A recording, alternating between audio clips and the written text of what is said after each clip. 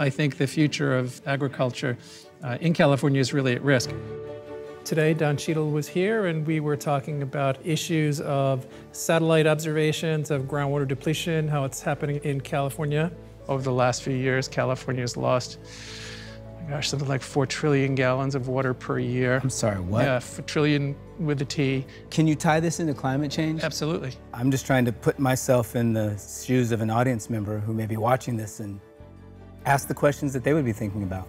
The picture that emerges is, is not a pretty one. We all need to really change our relationship with water. I- we don't have it in the abundance that we once did, and a lot of that's because of the depletion of non-renewable groundwater. So if we want to keep doing all the things that we have been doing, we have to do it with a lot less water, and we have to, we have to make that adjustment. I mean, this is insane. I am getting to the point where I'm not sleeping well at night. It, it stands to change our food security, our energy security, our human security globally. I mean, this is really scary stuff. exactly.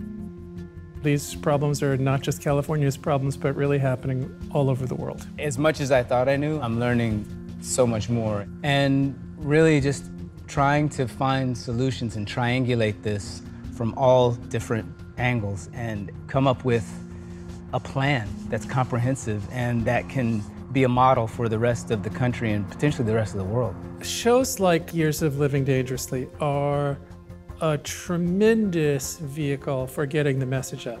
I have a message, the message of the global groundwater crisis, and we need all the help we can get.